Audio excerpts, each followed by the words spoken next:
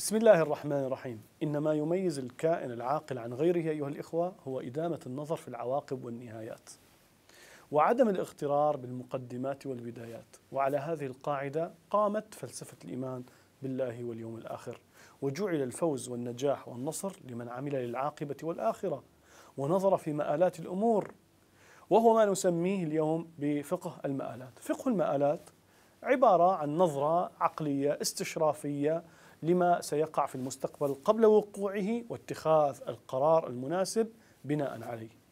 وهذا الفقه يدرك بناء على الإطراد والعادة والسنن الثابتة فيعصم الرأي من الخلل والزلل. وهذا الأمر أيها الإخوة يحتاج لخصوبة غنية في الخيال لاستكمال التصور الصحيح على ما ستكون عليه الأمور في المستقبل. ويحتاج إلى التفكير خارج صندوق المحن الذي يحاصرنا من كل حدب وصوب ويضغط علينا. تتحدث الجماعات الإسلامية اليوم في أدبياتها عن فقه المآلات والمستقبل، لكنها لا تستحضر إلا أمثلة قليلة من مثل قصة ترك نهي النبي صلى الله عليه وسلم الرجل الذي بال في المسجد خوفا عليه من الضرر، وترك قتل ابن سلول زعيم المنافقين حتى لا تستثار النزعة الجاهلية في رؤوس قومه. وترك إعادة بناء الكعبة على قواعد إبراهيم عليه السلام لأن قريش لا تزال حديثة العهد بالجاهلية والكفر. ولا تتفكر هذه الجماعات بالمآلات السياسية الكبرى للقرارات النبوية المفصلية. بل نجد من يحاول لي أعناق النصوص ليدخلها في سياق الخصوصية النبوية التي لا تتعداه لسواها. فيبطل بها الاعتبار والتدبر والاقتداء.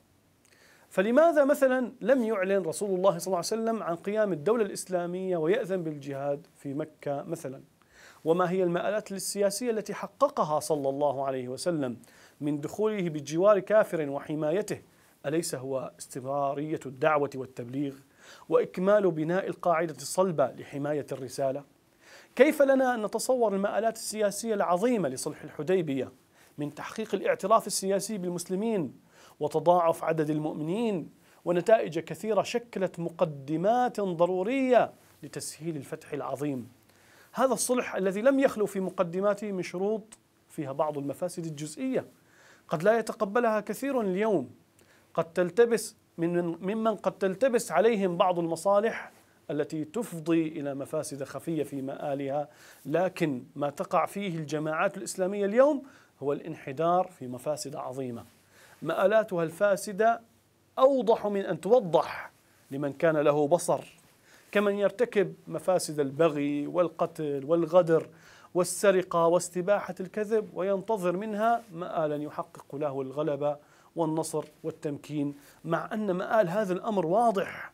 ووضحه تعالى بقوله إن الله لا يصلح عمل المفسدين.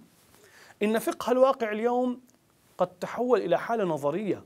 بسبب سرعة التبدلات والتغيرات في الأحداث ليصبح الواقع بعد إدراكه جزءا من الماضي. وقبل إدراكه من أمر المستقبل مما يحتم علينا مزيدا من التفكير الاستراتيجي القائم على الاستشراف للمستقبل القريب بحصر كل السيناريوهات المحتملة ووضع الخطط المستقبلية الناجحة لمواجهتها. وإلا فنحن نسير بلا بوصلة ونسلم شريعتنا من جديد للرياح الهوجاء تقذف سفينتنا إلى المصير المجهول أو الهلاك المحقق ونحن نفرح بوهم المكاسب الآنية التافهة ونذهل عن الخسائر الكبرى التي تجره علينا في مآلها وفي مستقبلها. والسلام عليكم ورحمة الله وبركاته.